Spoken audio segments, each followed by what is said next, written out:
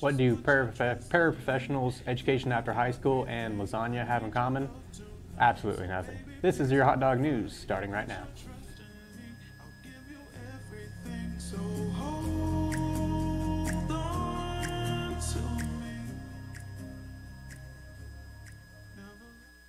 Please stand.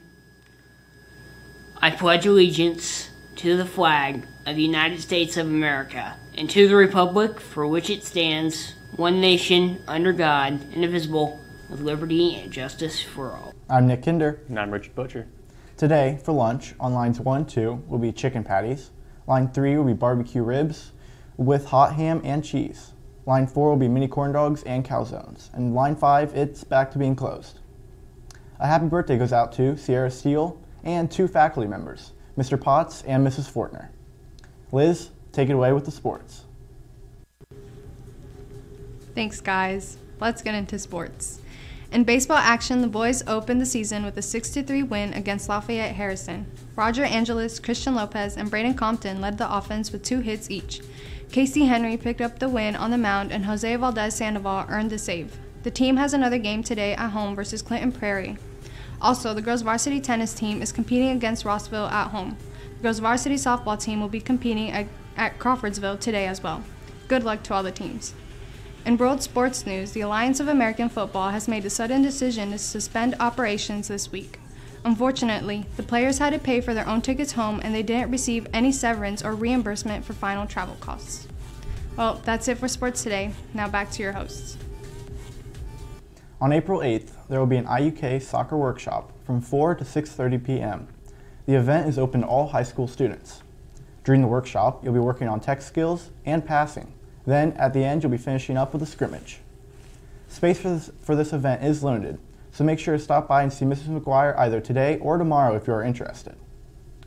Paraprofessional Day was yesterday, so we wanted to recognize all of our paraprofessionals for all of their hard work. Lisa Johnston and Carrie Fawcett teach life skills with Mrs. McDonald. Lisa Castle is a job coach. Adam Nichols is the ISS teacher. Christian Wirtz, Becky Hutton, and Allison Rader all go out and work in the classrooms. Last but not least, Nubia Medina is the ENL, or English as a New Language, translator. Thank you for all you guys do. The deadline to apply for the Education After High School Workshop opportunity this summer is quickly approaching, as it is due in two weeks on April 12th. Have you failed a class at the high school? If so, you should be attending early summer school, each day from 3 to 6 p.m. Early summer school started Monday and will go through April 29th. If you have any questions, see your counselor.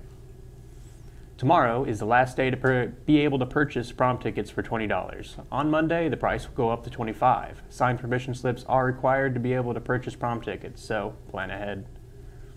And vintage Garfield phones have been washing on the shore of a French beach for decades. For years, no one knew why. A beach, particularly a French one, isn't exactly a good place for lasagna and landline phone service, leaving much to be desired.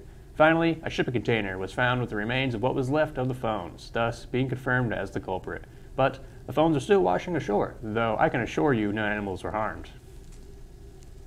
Thanks for tuning into the daily announcements. Make sure to like and subscribe, and we'll see you tomorrow with even more news regarding Frankfort High School.